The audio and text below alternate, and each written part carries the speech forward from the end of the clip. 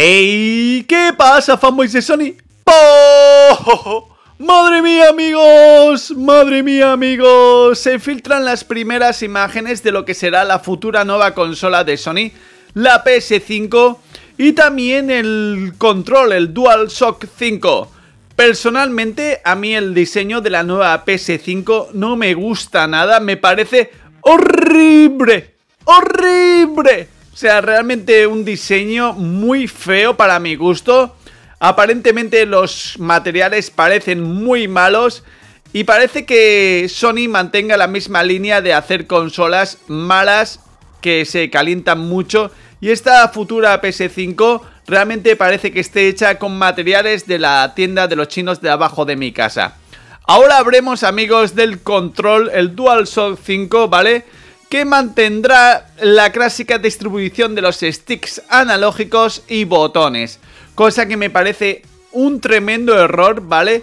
Que Sony mantenga eh, los sticks igual ya que desde mi punto de vista, como están distribuidos los botones del control de Xbox One, los sticks, lo prefiero. O sea, prefiero que donde está la cruceta esté el stick izquierdo y abajo la cruceta, ¿vale? O sea, realmente que los sticks estén tan parejos y tan pegados me parece una tremenda cagada. Pero atentos amigos porque si ya la, la batería del DualShock 4 duraba poco, Atentos porque la inclusión de una pantalla táctil completamente a color en el centro del control del DualShock 5 hará que el DualShock 5 la batería se la coma enseguida, amigos. Lo que me parece una tremendísima cagada. O sea, realmente eh, va a ser, o sea, una auténtica cagada, ya que la inclusión de la pantalla, ¿vale? Hará que la batería del DualShock 5 se agote enseguida. Sinceramente me parece, eh, un, me parece un error lo de Sony.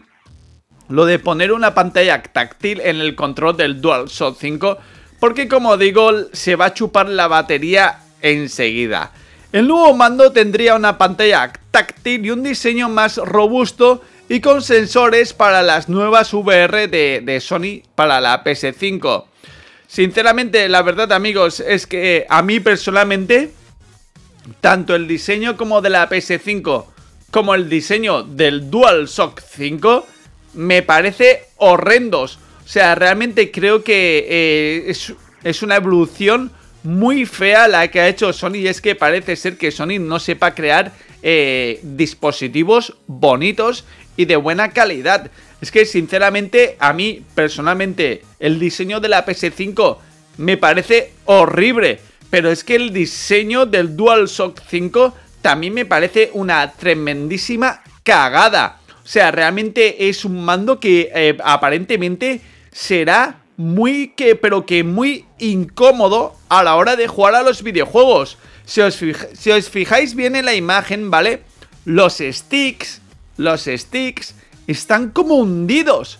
O sea, realmente, eh, o sea, sinceramente, veremos a ver, pero cuando me parece a mí que a la hora de jugar con este control, el DualShock 5, va a ser un sufrimiento y creo que va a ser una tremenda cagada el diseño que ha sacado Sony para el DualShock 5. Entre el diseño y la pantalla táctil integrada en el control, lo que hará que se chupe la batería enseguida, va a ser una auténtica cagada. Pero seguramente Sony lo haya hecho con la idea de vender eh, baterías extra para el mando. Seguramente esa sea la idea para sacar dinero a sus usuarios.